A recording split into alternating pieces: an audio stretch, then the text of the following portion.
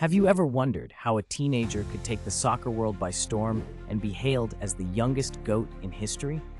Meet Lamine Yamal, the prodigy who defied all expectations. From his early days in the youth academies to breaking records in professional leagues, Yamal's journey is nothing short of extraordinary. At just 16, he showcased skills and maturity on the field that left fans and critics in awe. His breathtaking dribbles, pinpoint passes, and clutch goals earned him comparisons to legends. But it's his humble attitude and relentless work ethic that set him apart. Yamal's rise wasn't just about natural talent. It was a story of dedication, perseverance, and breaking barriers.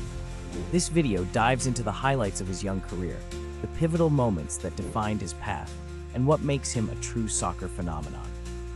If you found this story inspiring, please like and share the video, and don't forget to subscribe for more 90-second sports updates. Join us as we continue to bring you interesting and fascinating sports stories without all the ads and bloat you get from other sources.